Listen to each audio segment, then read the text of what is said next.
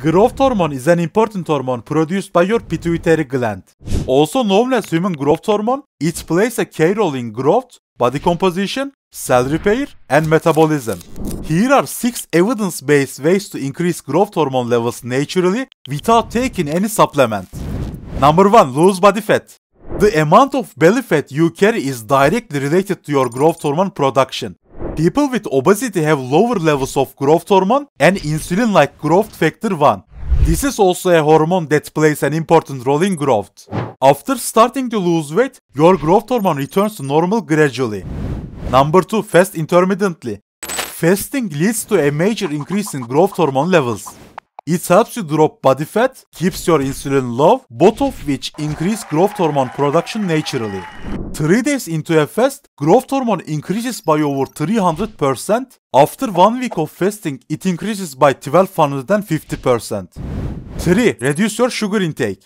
An increase in insulin is associated with lower growth hormone levels. Refined carbs and sugar raise insulin levels the most, so reducing your intake helps optimize growth hormone levels. Healthy people have 3 or 4 times higher growth hormone levels than those with diabetes. Aim to achieve a balanced diet as what you eat has a profound effect on your health, hormones and body composition. Number 4. Don't eat a lot before bedtime. Your body naturally releases significant amounts of growth hormone, especially at night. Given that most meals cause a rise in insulin levels, you should avoid food before bedtime. In particular, a high carb or high protein meal spikes your insulin and potentially blocks some of the growth hormone released at night. Insulin levels decrease 2 to 3 hours after eating, so you may wish to avoid meals 2 to 3 hours before bedtime. 5. Exercise at a high intensity. Exercise is one of the most effective ways to significantly raise your growth hormone levels. The increase depends on the type of exercise, intensity, food intake around the workout, and your body's own traits. High intensity exercise increases growth hormone the most, but all forms of exercise are beneficial. You can perform repeated sprints, interval training, weight training, or circuit training to spike your growth hormone levels and maximize fat loss.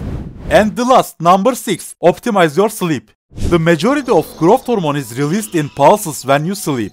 These pulses are based on your body's internal clock or circadian rhythm. The largest pulses occur before midnight, with some smaller pulses in the early morning.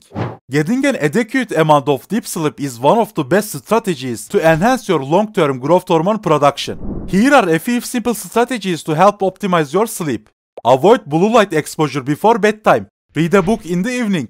Make sure your bedroom is at a comfortable temperature. Don't consume caffeine late in the day. And aim for 7 to 10 hours of quality sleep each night.